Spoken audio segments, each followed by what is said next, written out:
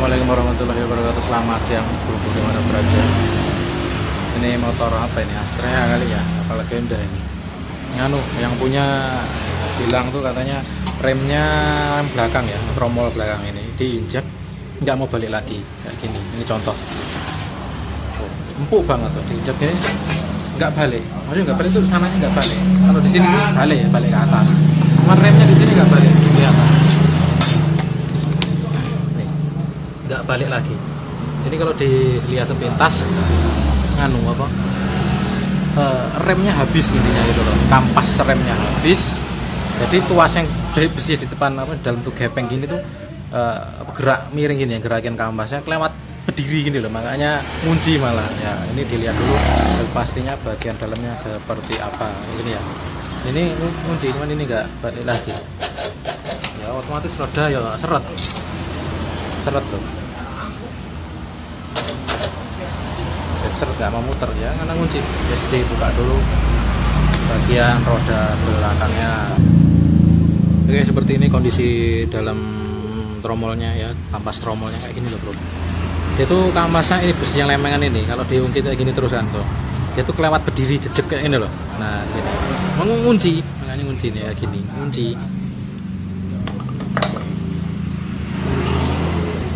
nah ini loh kan kayak gini nggak mau balik lagi ya karena kelewat kelewat tuas dalamnya tuh kelewat teken kali ya ini loh. Kayak gini. Nah ini bisa diakibatkan karena kampas remnya habis bisa. Terus tromolnya udah kemakan bisa.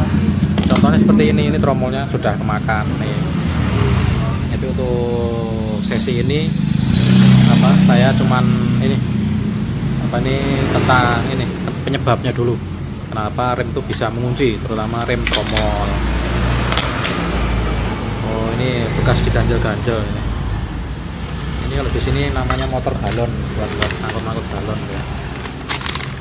Coba dipasang yang barunya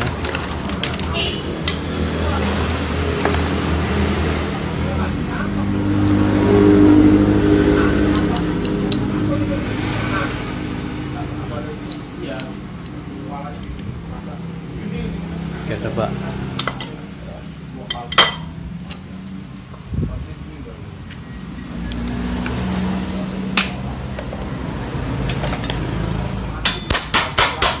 nah seperti ini. Coba. Nah ya bisa. Balik lagi kalau gini ini tromolnya udah agak nggak bener bro ya. Apa eh kemakan tromolnya nah intinya seperti ini. Ini juga kurang lancar ya. Tergerus. Oke, ini fungsi kembali, tinggal dipasang di tromolnya lagi. Oke, kondisi roda sudah terpasang lagi dengan kampas barunya ya. Ini coba putar direm, direm, ya balik lagi, Tuh, balik lagi. Ya, karena ini tadi ya bener apa? Lemengan besinya tadi loh, kelewat ngangkat ini loh. Jadi kampas itu ganjel kampas malah, dia nggak mau balik lagi. Ya, roda pun seret atau remnya ngunci eh, ini bro ya untuk kali ini informasi aja ya kenapa sebabnya motor kampas rem tromol khususnya itu bisa ngunci sendiri atau nggak balik tuas ininya ini tuas ininya nih nggak balik nih. Paha remnya lah kalau di sini bilang tuh. Ini nggak balik lagi padahal di sini per-pernya ada semua. Dan rodanya kekunci itu sebabnya seperti itu Eh, ya saya ini dulu bro informasi sekarang ini. Semoga video ini bermanfaat. Sampai ketemu video selanjutnya ya. Lama coba. Salam